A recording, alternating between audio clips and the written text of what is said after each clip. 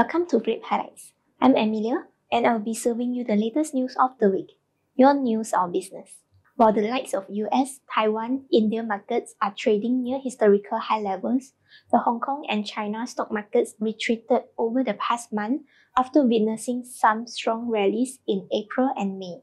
The Hong Kong or China market is still awaiting policy catalysts, and all eyes will be on the third plenary session of the 20th CPC Central Committee, which would be held on 15 of July 2024. It is expected to deepen reforms and promote Chinese-style modernization initiative.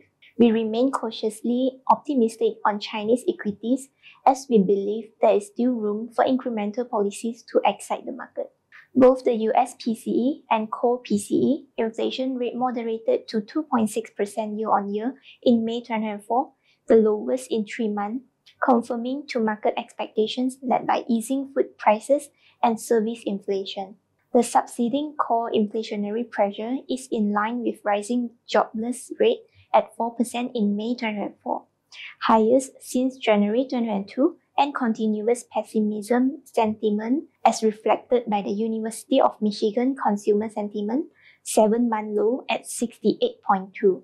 Moving forward, further deceleration of the Fed's favored inflation gauge continues to point towards the Fed easing its policy rate. While this year is expected to be more favorable for investments than the previous year, it is important to stay watchful for any market volatility. Phillip Capital Malaysia provides a comprehensive list of products, including discretionary private managed accounts and unit trusts that are offered to retail investors, high net worth individuals, corporations, and institutions. Whether you want to DIY, seek for advice, or let the expertise fully handle your portfolio, our platform can cater to your needs and preferred way to achieve your financial goals. That's all for today. Stay tuned for the next Phillip Highlights. This update is brought to you by Phillip Capital, your partner in finance.